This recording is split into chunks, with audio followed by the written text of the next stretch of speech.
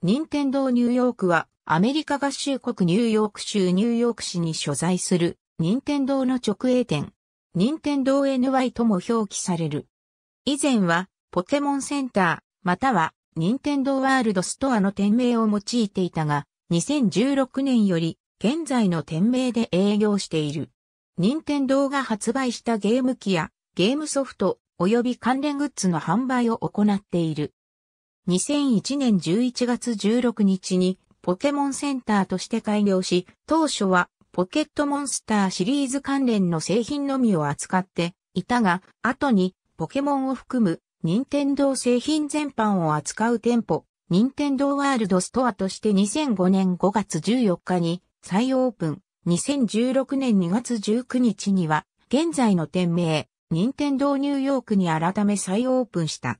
店内ではゲームの体験、ゲームの開発資料、歴代ゲーム機と周辺機器の実機を展示するスペースが設けられている。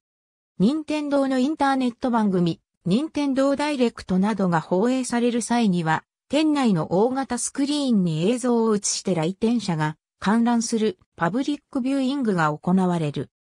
姉妹店として東京都の商業施設渋谷パルコ6階において任天堂東京が2019年11月22日にオープンした。任天堂ワールドストア時代の店内の様子。ありがとうございます。